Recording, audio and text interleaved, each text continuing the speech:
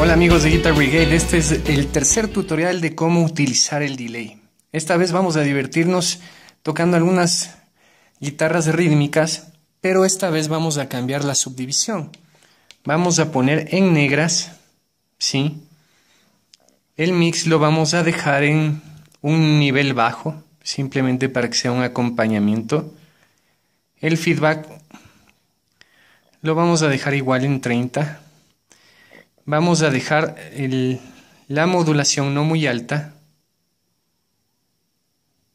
¿Sí? Y en un tiempo de 90. Vamos a poner el reverb, vamos a tenerlo encendido y usaremos un poco de overdrive, muy bajito para ver qué sonido nos da.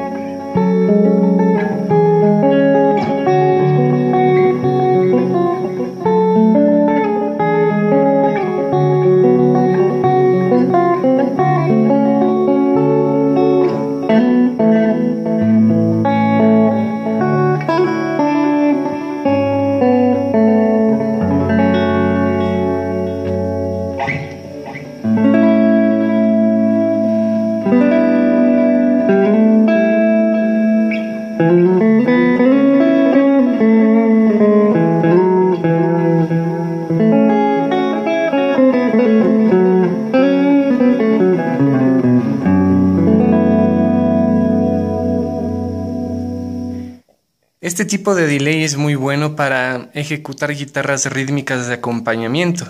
Como el tiempo está en 90, también sirve para baladas o canciones suaves.